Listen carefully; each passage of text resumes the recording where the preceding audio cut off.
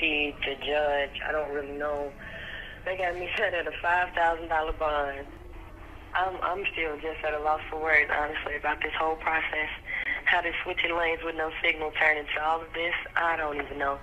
Um, but I'm still here.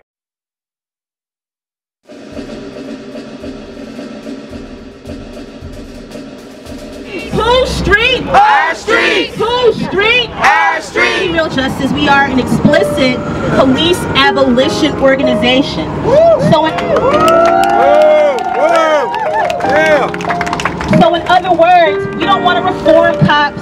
We don't want to give them health care so they can stop killing and beating us. We don't believe that we want to reform them, right? We want them gone.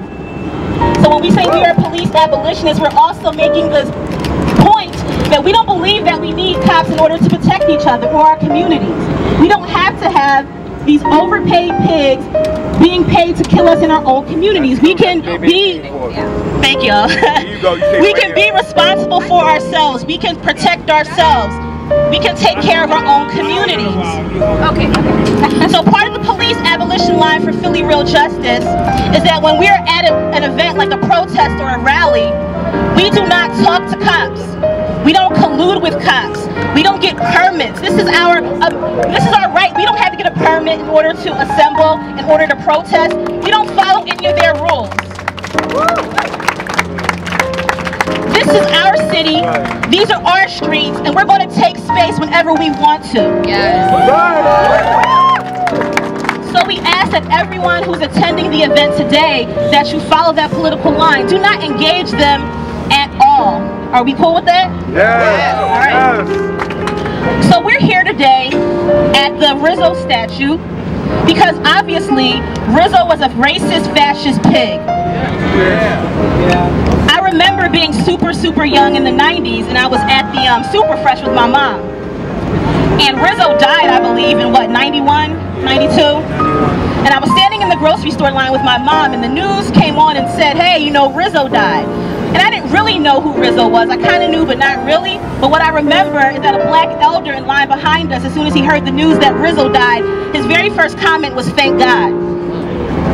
Thank God. So that tells us a lot about how the community felt back then and continues to feel about Rizzo. Rizzo was a, a brutal cop, a brutal police commissioner, a brutal mayor who targeted the African American community. He targeted the Latino community. He targeted the LGBTQ community. He basically targeted any community that he did not feel aligned with his own personal values. And so a lot of people are asking, oh, why are you trying to take down the statue? Aren't there more important things that you need to be doing? And I think that's the wrong question, right? Yes. Because if we're thinking historically, if we're being critical thinkers, we know that these statues, that these monuments to racist white supremacists are attached to policy that impacts us today. Yes. Yes. Yes, Yes, it is. There's a reason Yeah. Why the cops walk around with a bunch of military apparatus. There's a reason why somebody is 19 can become a pig in Philadelphia and make $40,000 a year. Yes, they can. Yes, they can. There's Yes, a they reason why our schools are so underfunded, but these cops' paychecks are fat every week. Yes, it is. Yes, it is. You can trace all of these Yes. discriminatory practices Yes. involving police, of course, to slavery, but more recently, we can trace them to Rizzo. He effectively defunded the public school system because he wanted to put his cops in a position of affluence. You also hear a lot of talk from some members of the South Philadelphia community about how this call to bring down the statue is what they're calling discrimination against Italians.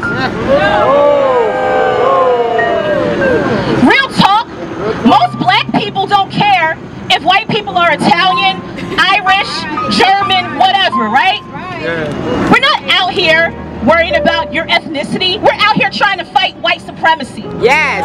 Yes. We out here trying to fight white supremacy. And when you're standing up for white supremacist images like Rizzo, that has nothing to do with your Italianness. It has nothing to do with your Irishness. That's it has to do with the fact that you want to get the privileges of white supremacy. That's right. That's right. Rizzo down. So when today is try to act like we're out here d- defaming Italians. I think that was their word, right? So we're going to be out here standing up against white supremacy, standing up to bring this Rizzo statue down. Yes. Rizzo down.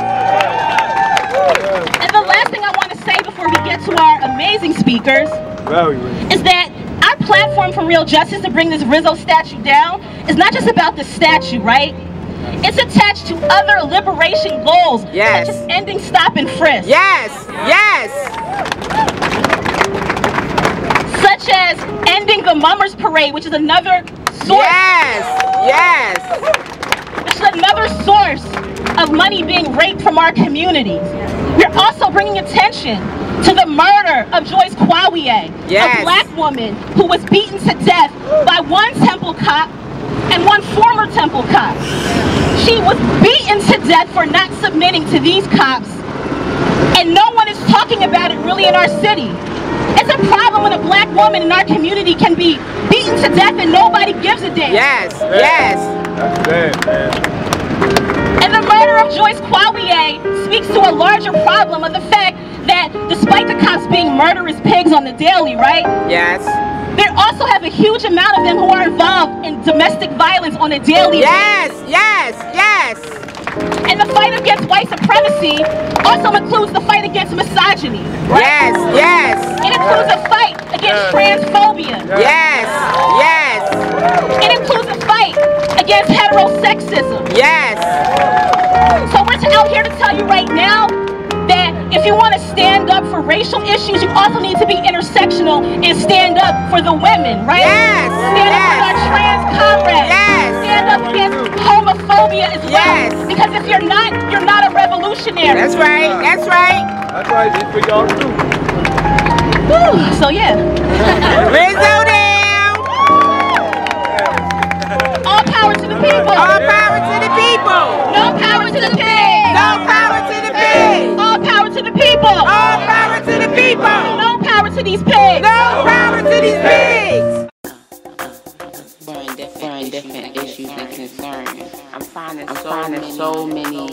different different mentalities that it seems hard.